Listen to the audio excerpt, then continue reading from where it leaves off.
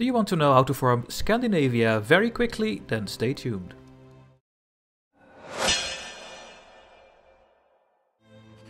Hello guys, this is Flying Dutchy and welcome to another guide video. This time we are going to show how you can form Scandinavia very quickly. Um, I also did a video about Germany and Italy. Those are the three major unifications and this time we are going to look on the Scandinavian one. Now, the easiest way to do this is as Sweden. Sweden is the strongest nation of the countries that are in Scandinavia. So I would really recommend you playing with them. They also start with Norway in the personal union, which makes it a lot easier to um, form Scandinavia. So let's um, see if we can get Prussia like us. That is always very nice uh, to start off. And if you don't have Prussia like you, then just restart the game really. And then I see you in the game. Alright, we are back in the game. Um, apparently it is not possible to have Prussia as a friendly nation. They are just cautious all every time I restarted, so um, it's almost impossible, I think. Um, but we have Great Britain very cooperative with us and Austria as well. And no one is angry with me, so I think that's more than enough. Now, you want to improve relations with Prussia at the start of the game. You also have a new trade agreement, so maybe you can get their relations up very high. And we will also improve the relations with Great Britain. Because at the start of the game we are going to attack Denmark, and that will happen very soon. Now let's go over what you need to do to form Scandinavia. You go to the culture tab, Nation Formation, and Scandinavia. And everything that is highlighted, including Iceland and Greenland, well, Greenland not actually, but Iceland is, um, is part of this region, of this major unification. So the big nations in this region are Nor Norway, Sweden, Denmark, and Finland, and two nations in the North German culture group over here. Um, so what you want to do to form Scandinavia is to have uh, 11 regions under your control, and you need to research pan-nationalism. So it takes a bit longer to form Scandinavia, because you need to do a uh, technology that is a bit further in the tech tree, so it takes a bit more years to research it. But uh, you should just try and go puppet Denmark, because Norway is already under your control in a personal union, that is why they have your color. And if you can get Denmark on your side, you get three more states, and that is exactly enough to form Scandinavia. Now, there are a couple more states um, in this list. These are the uh, Finnish states, I think all of them, including West Karelia, or... No, not West Karelia, but um, these three states here are in the list, and also Åland, this island over here, and also uh, Schleswig-Holstein. They are split at the moment because part of it is uh, an independent nation, I guess, and some part is part of Denmark. That's why it's saying it's split. Um, don't focus on Finland, because you cannot get them very easily. Um, and the good thing about Finland is that you have claims. Uh, I don't know if I can show this. Yeah, here we go. Sweden is having claims on these states over here. These four. Which means that you can conquer them with not a lot of infamy. Um, you cannot do the play to uh, transfer subject. It's not possible because it is a personal union under Russia and you cannot transfer personal unions. You can only uh, transfer vassals, I guess. So, yeah, you can't really get them. You can only uh, take this by going to war of Russia for something else. For example, you go for the conquest of Estonia or for uh, East Karelia. And then when you are at war, you can add these as a war goal. You can transfer this uh, this puppet to you then, or you just take the four states.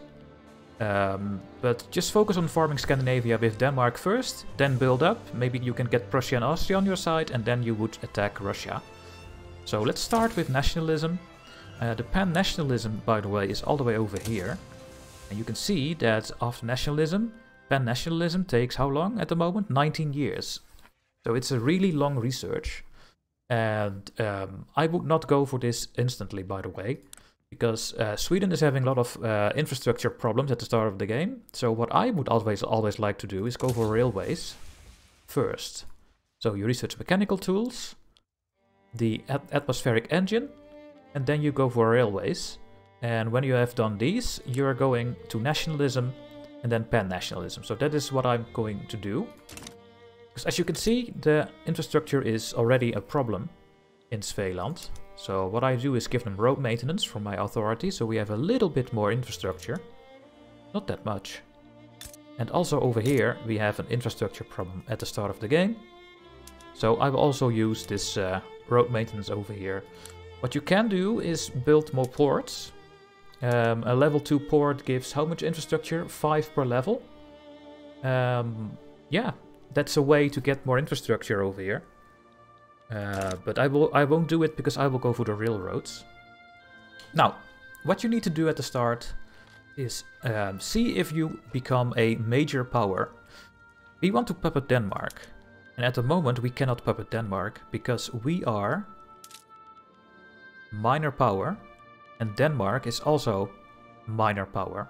If we would become major power, we could vassalize a minor power. So we need to wait until we become a major power. And luckily, at the start of the game, this happens um, almost always, I think. So that is why we go to War of Denmark instantly, because we could fall down to a, a minor power. Now, first of all, I will build my um, construction sectors. I will build three, maybe four of them at the start of the game.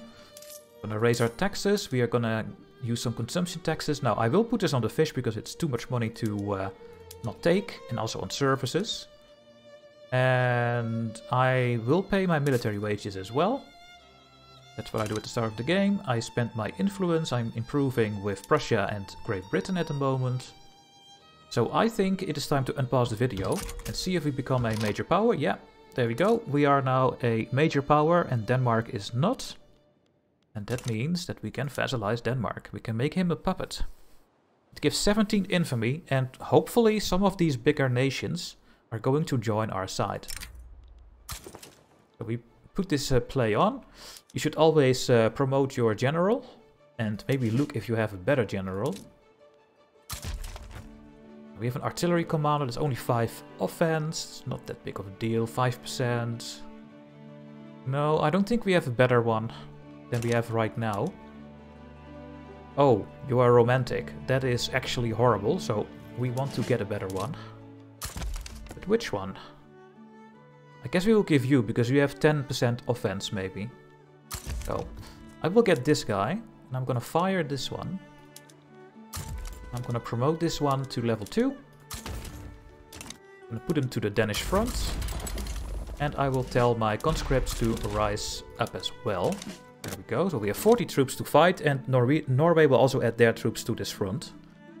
And I will be back when we are in the next phase and see if um, someone is going to join Denmark, maybe France will, and maybe someone joins our side. So let's uh, see you soon.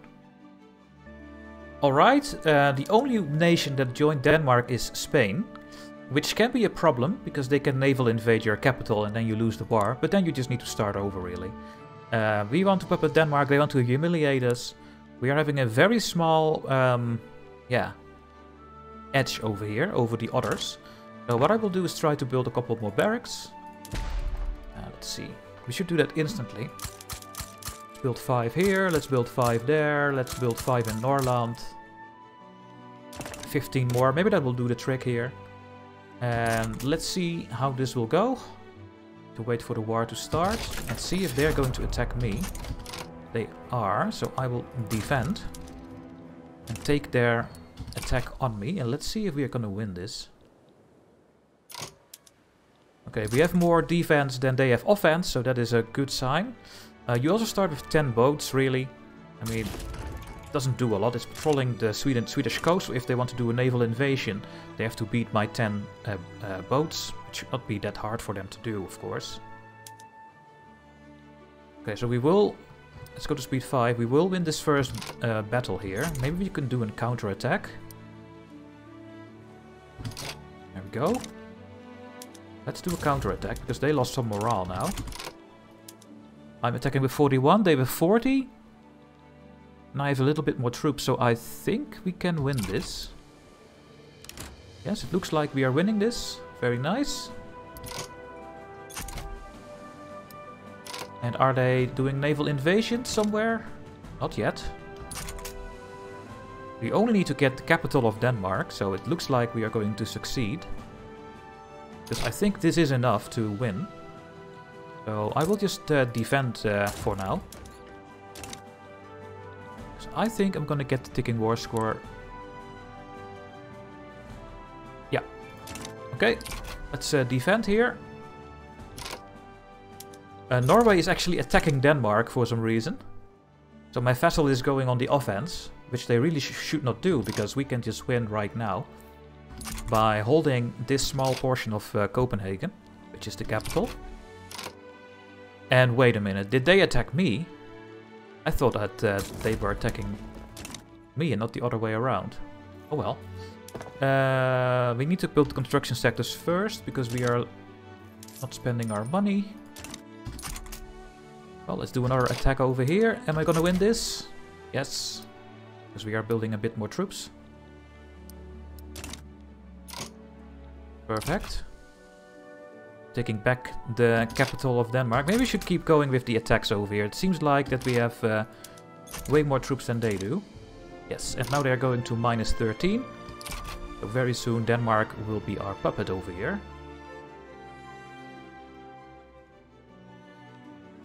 There we go. Now we should really not attack anymore. There's no reason for it. And there we go. Spain is out of the war and Denmark is now our puppet. So they are now in our color. And if you go over here, you can see that we have 11 out of 11 states to form Scandinavia. Except for the Schleswig-Holstein and the Finnish states. So what I will do now is build up my country, build some railroads, and start colonizing to get my own sugar and dyes and coffee and tea. And uh, when it's time, I will come back by forming Scandinavia and then I will go after Finland and show you how you can take Finland, hopefully. So see you in a while.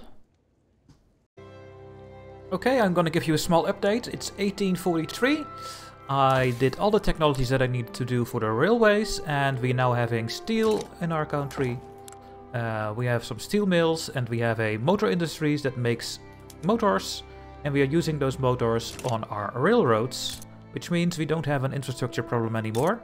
Only in uh, Svealand we are almost at the maximum again. So what I will do is actually build one extra railroad over here. So now I'm just focusing on what we need to do. I already got nationalism and now I will just wait for pan-nationalism to be researched. And then we will annex Norway and Denmark that way. Uh, and it will take 11 years. I have built up my university a little bit. Uh, maybe we'll do it a little bit more. And I will see you when I am done, or when I have another uh, update about uh, the situation. I'm just gonna colonize Igbo over here, this whole state. A lot of people live here and my people already built some uh, buildings over here, my capitalists and the uh, aristocracy. They built the cotton plantations, livestock range, uh, ranges and millet farms. Now, I will also want to have my own dyes and my own sugar and my own tobacco, so and my own coffee. So let's uh, queue these all in. And yeah, I will be back when something will happen, really. Just building up my naval bases a little bit. Um, and I will also build up my military a bit more. And in the meantime, try to get good relations with Prussia, Austria, Great Britain and uh, France. We do have a trade agreement with Great Britain. And I was hoping to get Prussia to like me a bit more. They are at 70. Maybe when, when we get a relation of 80, it will become friendly and maybe then we can get an alliance or something. But uh, yeah, I see you guys uh, soon. Alright, we are almost there guys. I need 10 more months for pan-nationalism, but look what Schleswig did. they are they are trying to uh, take radical Schleswig. Oh wait, this is just a rebellion, I think. I was so confused when I see when I saw this, but I th I think it's a uh, rebellion. Yeah, it's a rebellion in Schleswig, which is my, I think my puppet or my, what is it? It's an interpersonal union, actually. Because we puppeted Denmark, we took over their personal union, so we need to beat this down, really. Um, and then in a couple more months we can click pan-nationalism, we will form Scandinavia, and then hopefully more of the major nations will help us against the Russians. Um, I am having 80 relations with Prussia, which is the maximum. But it's impossible to get more uh, things with him. They don't want an alliance or a uh, defensive pact. Austria doesn't want anything. We have maximum relations with him as well.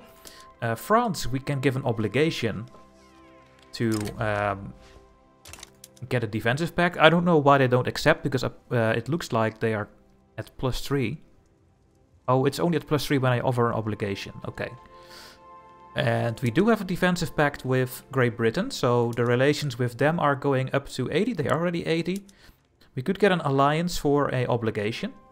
That's something I can do, but I want to not uh, give my obligations away because I need them in the war against Russia. So let's first crush this rebellion over here.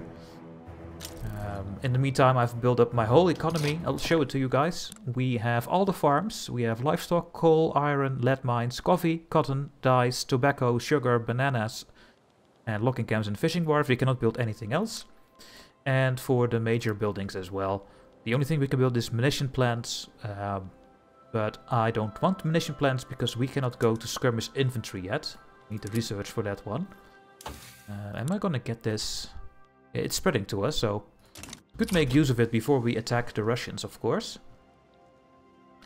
Uh, let's see how much more months. Six more months. Now we won this war, so I will be back very soon when we can click the button. Oh, and apparently we already have pan-nationalism. It went very quickly. I think we, we got some sort of uh, uh, boost for our research, I think. Also have egalitarianism. Now when we go to the culture tab here, we have 11 out of 11. We are the only unification candidate because we are the only major power or higher in this region. And we can see that Denmark has our flag, Norway has our flag, we are ourselves, and Slesvig and Radical Slesvig are under our control. Now let's just wait for this war to be over, just in case something weird is gonna happen. There we go. That is now going to be ours, and we are going to form Scandinavia, we will annex everything. And now you have this beautiful color on the map. Now you need to incorporate all the states immediately. If you don't do this, you're going to lose a lot of money. So let's click on all the states that we uh, integrated. I think I will do Greenland as well. And also you got this island over here, because that is part of Denmark. And you also have this now from Denmark, this uh, colony over here. So yeah, this colony is just uh, thriving like crazy. Uh, a lot of people are working here. We have all kinds of uh, agricultural things happening. Now for the next technology I will go for general stuff. Maybe we can actually uh, get our ammunition plant up. And let's see where we have a lot of uh, labor left. So in northern Norway we have the most labor left. So I will build my uh, munition plant over there. And we in Schleswig-Holstein we have some problems with the infrastructure. Let's have a look here. We have one railway. Um, oh, the problem is already over. So that is no longer a thing. We have unproductive trade routes because we did this. And we have some states in turmoil. Now, we did take over a lot of buildings and some armies. So let's have a look at my general. In the Baltic, we have 19 troops that can go to another commander. They should go to this commander, but maybe the game is a bit bugged. So let's see if I have a good new commander. We have a defensive commander from the church. I don't want the church to be... Uh, I think I'm gonna go with this one. There we go. And I think we will become a great power soon. Um, we could get an alliance. We can get... Yeah, everyone want, want us to join uh, their customs union. Because we're not gonna do this, of course. So this is how you form Scandinavia. Now, if you want to go after Finland, uh, you can just go for the return state. You can see for one state you get only 4.2 infamy. And that is because of um, that you have claims over here. So you keep the claims when you are Scandinavia. So that is the good news. Now let's see if I can find uh, support to fight uh, Finland and then I will be back. Okay, I did a play and I added two countries to join. Uh, I told uh, France and Great Britain to join me on this war against the Russians. Um, we could return our states. I don't think we have enough maneuvers left to take everything in this war. Let's just take at least the things that make sense. So Ostrobothnia is already in. Southern Finland. 16 left. And Åland. So we cannot take West Karelia in this war.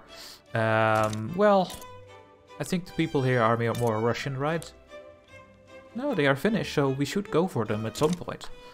Uh, but yeah, this is just what I could do. What you also can do is uh, transfer the Grand Duchy of Finland to you. But, but since you already have formed Scandinavia, you cannot click the button again. And actually uh, take them for free. You need to uh, take them as your vassal and then annex them later. Now let's see uh, how this war will go, because we have Great Britain and France on our side.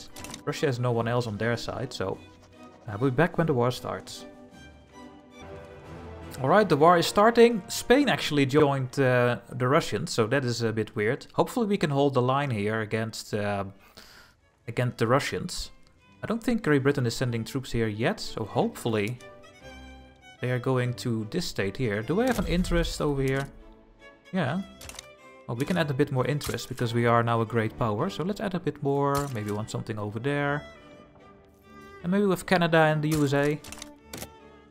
And um, yeah, let's see if we can hold the line here.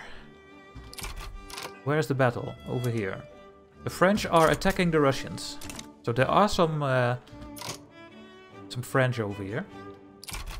And of course the French are going to try to take down Spain. But hopefully we are going to get some help soon. Well, it looks like that France is uh, actually winning. So they are going to take some of our war goals over here. Yeah, Got a little bit. And France keeps attacking. Maybe I should help him. I did not put my uh, skirmish infantry on. Or what is it called? Yeah, skirmish infantry. Not yet. We are almost there. We do have the research just now. But I need to build my munition plant and then I can change the production method. Let's get the field work, so we might get a bit more of a defensive boost. We also great power, of course, now that I already told you. Um, but let's see what the French can do here. We are doing at least a lot of damage. And Spain is going to get killed, so that is uh, very nice. Okay, I will help with the attack with the French army. Now we are only attacking, but we have 58 offense. Also because we have our armed forces happy. Since I have gone for dedicated police force, we have a professional army. And we have National Guard. And the armed forces really like that, so we have the bonus from them. Let's show it over here. They are just at 10, so we have a 15% offense and defensive boost. Okay, looks like we're gonna get more from the Russians. Spain should uh, capitulate very soon, and hopefully uh, Great Britain and France are gonna help me over here. Russian capital is St. Petersburg at this part of the game. So if we can take that down, should be good to go. Spain is out of the war. So I think we are going to get the troops from this front to here. Or maybe there will be a naval invasion. Great Britain wants an alliance. Sure. No problem. Whatever, this is about the elections. Don't really care about it. Yeah, we are winning again against the Russians. We have a very good commander taking care of the uh, battles over here. Uh, I could change this now, but if I change it right now, we will have a 60 or 80% uh, attack uh, malus. So we could upgrade our troops, but uh, I'm not going to do it. Can I design a strategic objective? I can. Over there. Now, we'll be back when the war is over. I don't think uh, anything else is going to happen. And there we go guys, the Russians uh, gave up, we took more of the war goals, and we took three states from Finland. Uh, there's just one more state left that we have to take where we have a claim on. You can do this in the next war. And then I would uh, take more of Russia. I would maybe take uh, the Prussian coastline, so you have a big Baltic uh, country. Uh, France and Great Britain are happy with me, so let's make use of it for the rest of the game and take uh, everything in northern Germany, maybe the Netherlands. So you can take the Indies. And then it's up to you how you uh, advance. Now for uh, the map looking good, you should really take uh, East Karelia. And uh, this state, West Karelia. We'll take this, this, this and this. And then these four states at the coastline. And then you have a fantastic Baltic Empire. That will be the end for this video. Hopefully you enjoyed it. Please make sure to like and subscribe and then I see you in the next video. Bye bye.